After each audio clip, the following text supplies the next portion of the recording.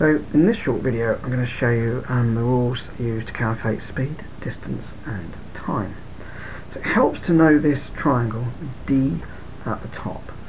So distance equals speed times time. Distance equals speed times time. So if for example I was doing 20 miles per hour on my bike for 3 hours and if I multiply those two numbers together, I would have travelled 60 miles. Now, uh, if we want to work out speed, speed will equal the distance divided by the time. So if I rode 100 miles in 4 hours, my speed would have averaged out, if I do 100 divided by 4, what I'm then saying is I'm going at 25 miles every hour, which we write as mph, miles per hour. So we can find speed by doing distance divided by time. And then finally, if we want to find time, time equals the distance divided by the speed.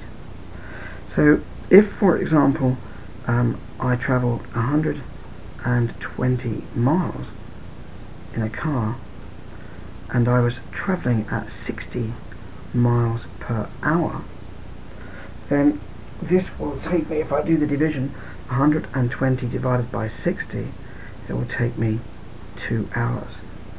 And think about it, if I've travelled 120 miles if I'm going 60 miles per hour for 2 hours that would have given me the 120 so the, I've kept all the units fairly simple um, in this question. It can be a bit harder um, if the, you know, the numbers aren't as easy as the ones I've given you and then we would use um, a calculator. So I'll give you an example of that now. So suppose um, I was told that I had travelled 340 miles in six, five hours and 15 minutes what is my speed.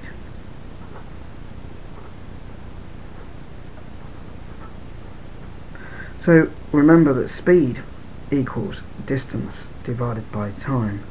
Now the distance is no problem, that's 340.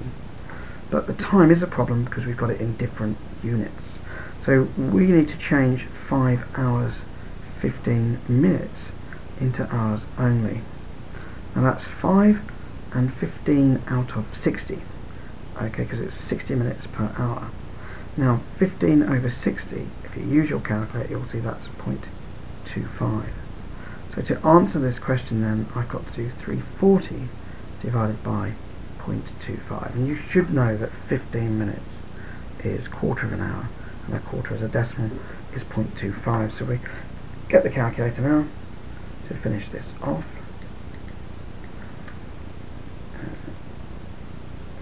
the other one over.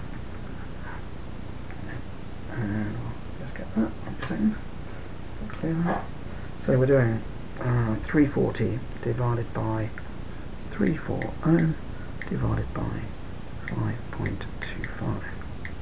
And so it is 64.76. So we'll change that down into one decimal place, 64.8. Um, and the speed would be in miles per oh, and I think you can just see me squeezing that in at the bottom of the page. So there's some examples of speed, distance and time.